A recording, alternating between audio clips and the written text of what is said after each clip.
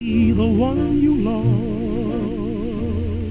And with your admission that you feel the same, I'll have reached the goal I'm dreaming of. Believe me, I don't want to set the world on fire.